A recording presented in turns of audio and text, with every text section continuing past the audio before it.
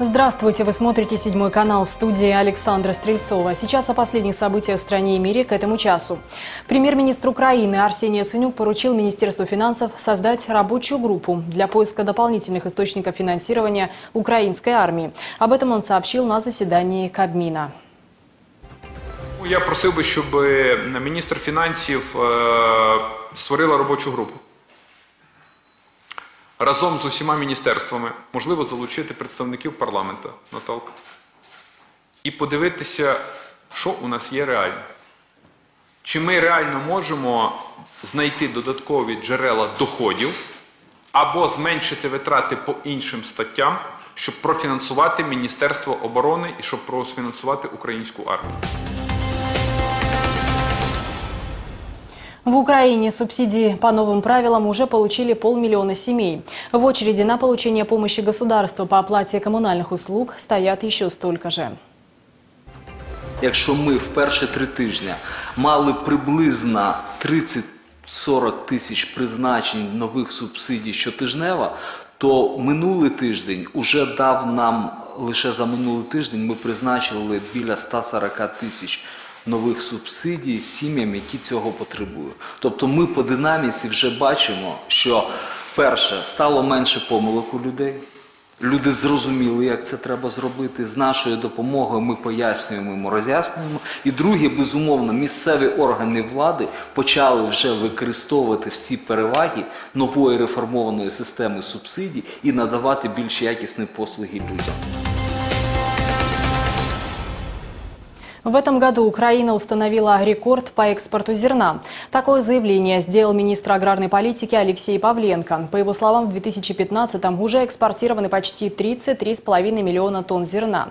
Министр заверил, продовольственный кризис Украине не грозит. Также Павленко добавил, наше государство кормит своей аграрной продукцией 140 миллионов человек за пределами своих границ. При этом Украина единственная страна, имеющая почти двукратный потенциальный рост в этом секторе сельского хозяйства.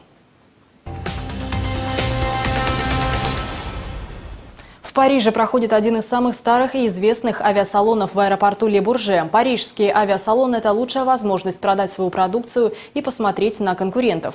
Наибольшие контракты рассчитывают сотнями самолетов и миллиардами долларов. Новых клиентов ищет и украинский АН. О представленных новинках подробнее в следующем сюжете. Для зрителей авиашоу уникальная возможность взглянуть на новые разработки в авиационной и космической сферах. Европейское космическое агентство привезло аппарат, который уже побывал в космосе. Он пробыл на орбите Земли около 20 минут. Есть здесь и наноспутники весом менее килограмма. Ці супутники недорогі і швидкі у виробництві. Завдяки ним можна створити мережу зв'язку там, де є проблема із телефонами, наприклад, для шкіл в Африці, щоб вони могли зв'язуватись між собою. Среди авиационных новинок и необычные аппараты, электрические и гибридные самолеты. Компания Aerobus представила самолет «Ифан». По утверждению разработчика, он дружественный для окружающей среды, так как не выбрасывает в атмосферу углерод. Впрочем, пока дальность его полета ограничена всего 300 километров. Впрочем, это не мешает компании строить большие планы.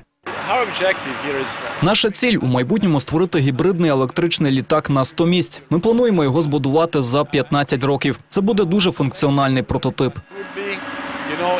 Полюбоваться новинками и просто обновленной техникой зрители смогут до воскресенья. Житель Токио выгуливает в одном из центральных районов города необычного питомца – гигантскую африканскую черепаху. Местные жители уже привыкли к такому зрелищу, а вот фотографии необычной прогулки буквально взорвали интернет-сообщество. О том, как черепаха стала токийской достопримечательностью, в следующем сюжете. Черепаху зовут Бон Чан. Это 20-летний самец. Появился на улицах он лишь несколько лет назад. Все началось, когда жена Хисао Митани приобрела шпароносную черепашку в зоомагазине. В то время Бон Чан помещался на ладони. Супруги знали, что он вырастет большим, но не думали, что настолько.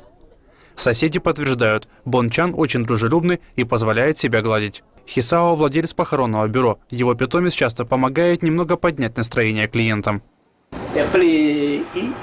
Когда семьи приходят в наш магазин грустными и видят Бончана, то начинают улыбаться. Думаю, это хорошо.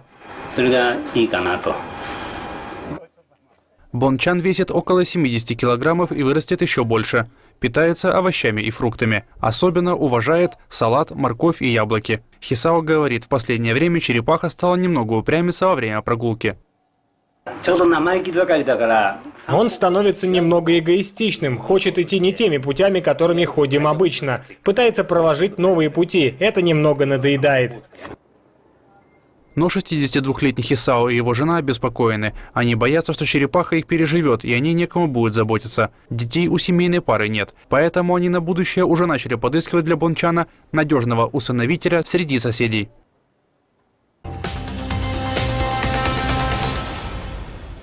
Это были все новости на данный момент. Больше информации в 19 часов. До встречи в эфире.